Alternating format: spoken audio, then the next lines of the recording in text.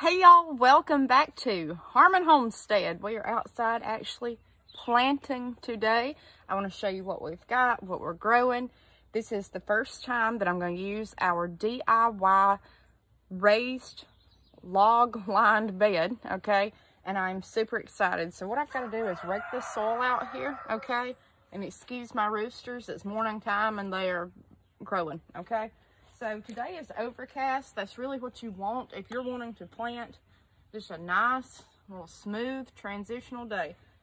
I have my triple 13 fertilizer here. And I just put a bunch in a pan. That way I can just scatter it as I think. I've got this much. I don't know if I'm going to use it all or not. This is all potting mix mixed in with a little dirt and compost. I showed you that in our other video on the DIY raised log line bed, okay? So this was a pine tree that fell in our yard and we just used the pieces to make a raised bed right here. So let me throw out some of this fertilizer, okay? And I may need a, I may need more, I may need less. I'll start tossing it. You don't want too much, you just want it kind of scattered around. Your plants will grow I promise you, okay? Now I've got a rake. I'm going to try to rake all this in, rake it level. You do not want your plants directly touching this fertilizer, okay? All right, so now I'm actually going to go back and get some more fertilizer to use in each little hole that we put our transplants. And I'm going to show you what we have to put out today, guys. Okay, y'all. So, my first little row here is pretty narrow, the way we have the bed. And I'm going to fit something small right here, okay? Let me show you. We have all of these transplants. These were from Baker Creek Seeds. This is our Chinese narrow leaf lettuce. And this was started March the 2nd. These have actually done great as far as lettuces, out of everything that they sent us this year, this this is the one, okay? This has done better than anything as far as a quick germination. It's been hardy. Guys, all of our transplants, this is from March the 2nd, okay? You can see why I'm trying to plant this outside today. This is like desperately wants to get outside, okay? Narrow leaf lettuce, March the 2nd, what you see down in there. I told you I would show you from seed to harvest, and that's what we're doing, okay? So, for our first little plant here, these need to be spaced about eight inches apart. So, got my little tool here, and let me try to do it right here so you can see. I want one right there. So, maybe right here will be good, okay? Again, this is all potting mix. Okay? Now you can see where I'm hitting grass. That's what I was saying. I should have laid down cardboard. Okay? I just laid the potting mix on top of the earth. But the good thing is, is this bed can go and go and go because it pulls from the earth underneath it. If you put a raised bed on top of ground, these plants are going to pull those nutrients, okay, from up underneath it. If you just do a raised bed, that has some kind of more solid bottom, it's not going to be, in my opinion, as good, okay? If you can let your plants pull from the earth underneath, it usually does help, okay? So, I'm just making me a little hole. This ground was rocky. It, um, it just did not have that good of a quality of earth to it, but you see, once all this potting mix gets in here, it's just helping it, okay? That's what you want. That's what you want. Okay, now that I've got me a pretty good little size hole here, move my camera so you can see. Okay, there's that. Set my camera back down. And look guys, I am not a professional at videoing, but I can tell you this, I'll show you real life stuff, okay? I'm gonna take my triple 13 right here, and I'm gonna put just a little bit just like that. Okay, down in there. Now, I'm going to turn it over. You do not want your plant, its roots, touching this, okay?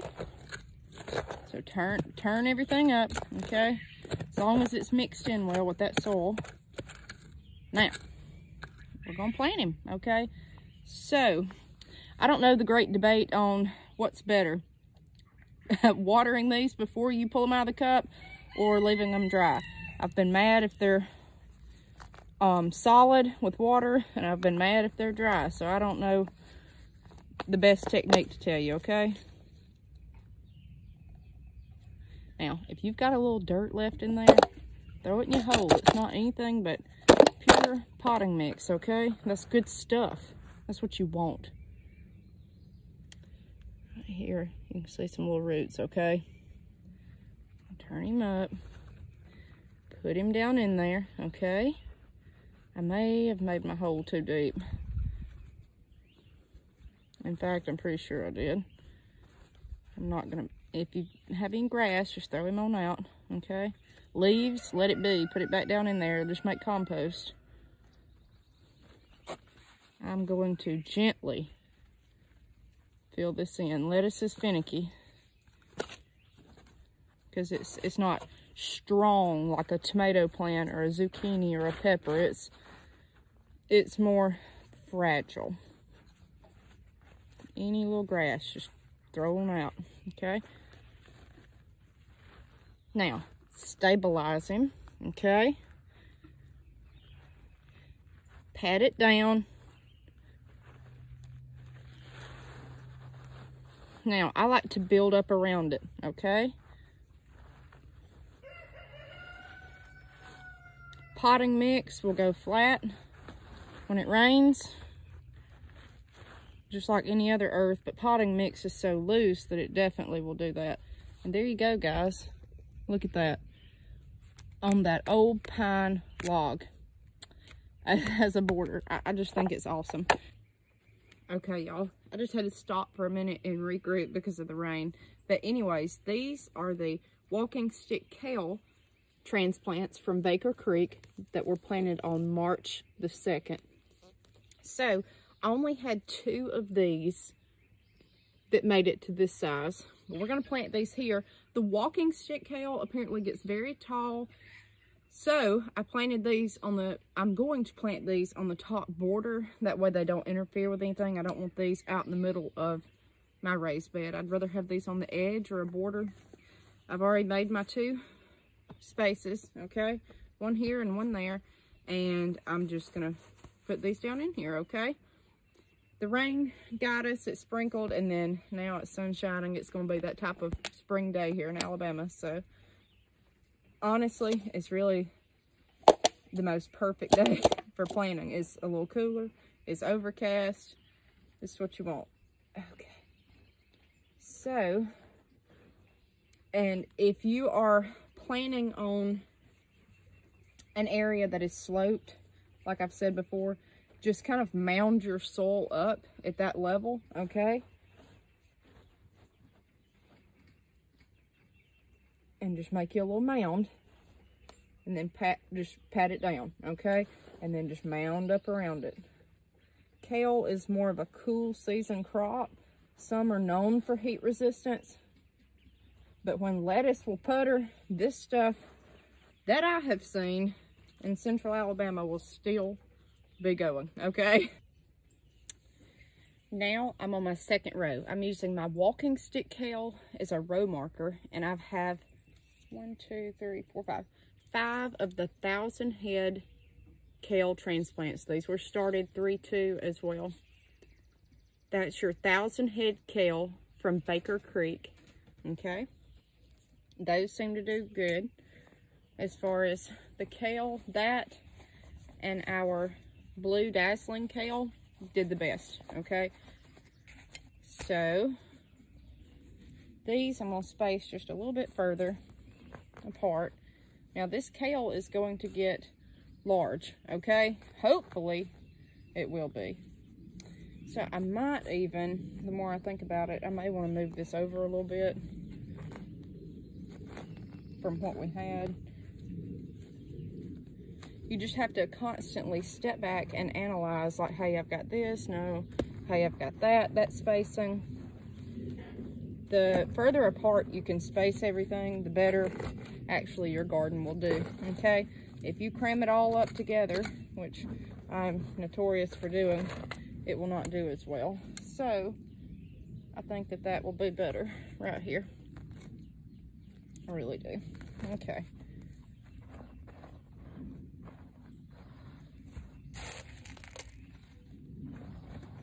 Just mix it down in there, okay?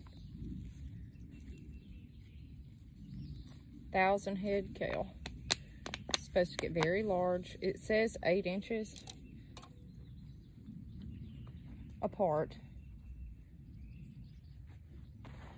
But I may make that a little bit more, okay? And yes, you can go out and buy just plain kale, okay? Transplants, you can do that if you've not started your seedlings inside. But just know that this year you're going to pay, no matter where you go, $5 a plant, okay? For one little plant. Last but not least, guys, we have two little kale transplants left. Now, I have a few more inside, but they're not ready yet. This is the Tronchuda, okay? Baker Creek kale. He looks great. And then we've got Dazzling Blue. They already have a blue tint to the leaves. So I'm going to plant these down by my thousand head kale. And then I'm going to show you the last few plants we're going to plant. All right, y'all. So over here by my border, okay, we're on the other side now. This is going to get the most sunlight. I am going to plant two of my Brandywine heirloom tomatoes from Baker Creek. And I'm going to tell you, these almost look like a pepper plant. It's something about the leaves.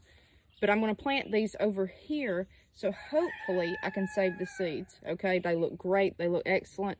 Bremer and Brandywine have been the best for us that we've tried. So I've got two farm fresh eggs. Okay, we're going to put these down in this hole. I'm going to show you this, okay? That way I can keep this weeded. I can keep this nice and controlled. And at the bottom, we're going to plant some zucchini, dark star zucchini. So I've got just a whole little garden here in this little bit of space. And I did not have to plant this kale. I wanted to, but I did not have to, okay? So I'm to get my tools and my fertilizer, okay? And actually, I could go back through here and plant just a few flowers, but I've got gladiolas all right through here. Okay, you can see one right there that are going to do great. So, let me start right here, okay? We're going to dig us a hole. Just make you a hole, okay? You want this pretty deep.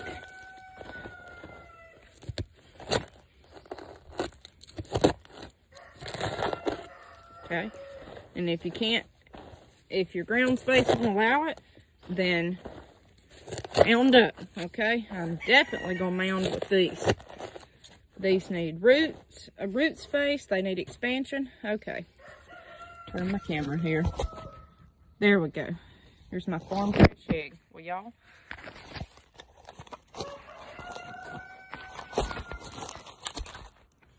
I'm propping it up against a pine log. okay farm fresh egg.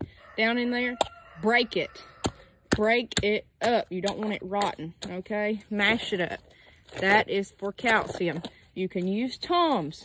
You can use all this other stuff, but you're gonna, I use farm fresh eggs. That's what I got, okay? So, well, we'll do him. We'll take our plant, okay? I have had a few issues with some of these leaves curling, but I put some little transplant fertilizer on them last week, and most of these have corrected. They're just, they're desperately wanting to get out, okay? I have a strict rule, never to plant in this area until Good Friday. That's why I've only got two tomato plants here. I got the tallest and the healthiest, but I'm breaking my own rule. Good Friday is Friday. Today is Monday, okay? We are close.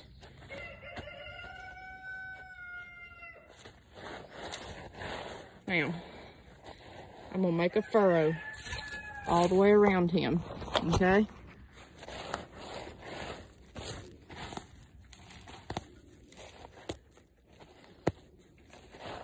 A big furrow to mound him up. I'm gonna take my fertilizer, pretty heavy this time, and I'm gonna go all the way around this ring.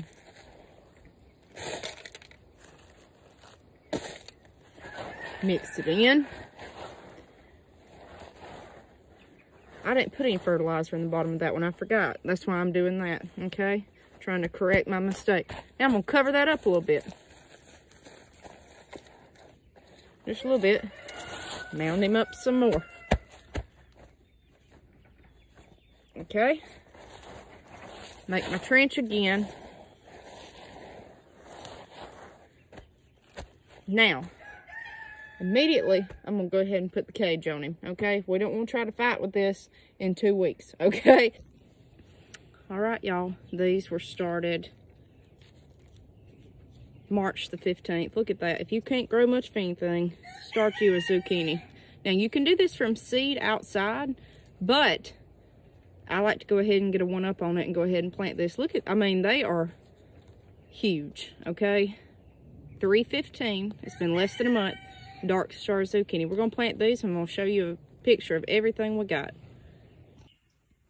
All right, y'all, this is the finished bed. I'm standing up on the deck. I'm going to show it to you. I've got the two Brandywine tomatoes, three dark star zucchini. Now, I got off on my row here a little bit, but that's okay because this zucchini will need space to branch out. Walking stick kale, walking stick kale. Chinese narrow leaf lettuce, with two blue feather lettuces. Thousand head kale, there's five of those. Trocunda and the daz blue dazzling kale, okay? That's what we've got for a pretty much free raised bed. I think it's an awesome idea. Now on over in here I have my hydrangeas and I've got gladiolas over there and other things. Two rosemaries back there nice little solar lights all the way around it. I just think it's a great idea. And hey, it's making it work for me. If it doesn't work, then it just doesn't work. But hopefully we'll have a harvest off of this. Get creative, guys. We'll see you next time on Harmon Homestead.